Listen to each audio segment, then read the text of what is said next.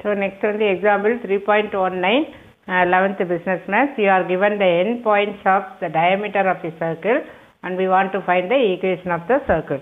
Here you are fi- given the circle இதனுடைய diameter diameterனுடைய end point வந்து கொடுத்துருக்கு so two comma இங்கே two comma four இது வந்து த்ரீ கமா மைனஸ் டூ இந்த மாதிரி இருந்தால் we want to find the equation of the circle when the end points of the diameter கொடுத்தா இது என்ன ஃபார்ம்டா x minus x one then x minus x two எப்போ இது யூஸ் பண்ணணும்னா டயமீட்டர்னுடைய எண்டு பாயிண்ட் விட்டத்தினுடைய முனை புள்ளிகள் கொடுக்கப்பட்டால் ச- வட்டத்தின் சமன்பாடு ஈக்குவேஷன் ஆஃப் த சர்க்கிள் அப்படின்னு சொல்லிட்டு இங்கே y minus y one then y minus y two equal to zero எப்போவுமே ஒன்று தெரிஞ்சுக்க இங்கே ஈக்குவேஷன் அல்லது சமன்பாடு. இந்த மாதிரி இருந்தால் கண்டிப்பாக ஒரு எக்ஸோ அல்லது ஒய்யோ அல்லது போத் எக்ஸ் ஒய் இந்த மாதிரி கண்டிப்பாக ஈக்குவேஷனில் ஈக்குவேஷனாகவே அதுதான் ஈக்குவேஷன் அப்படின்னாவே கண்டிப்பாக என்ன இருக்கணும்?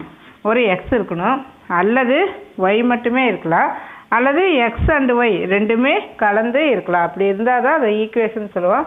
Otherwise that is not equation so இங்கே இப்போ சப்ஸ்டியூட் பண்ணு. X minus x one x one என்ன? இது வந்து x one y one x two y டூன்னு வச்சுக்க.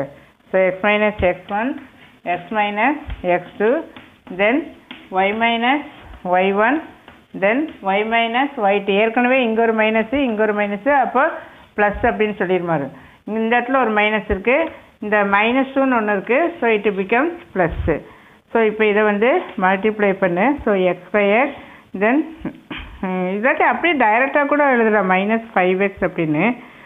இல்லையா? So x square minus five x plus six இதில் உனக்கு தெரியும்.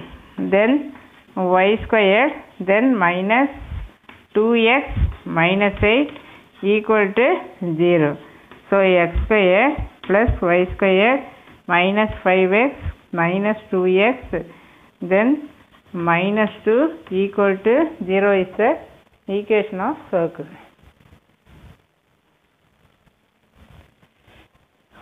இங்கே y போடுறதுக்கு நான் என்ன போட்டேன் so this the equation of the circle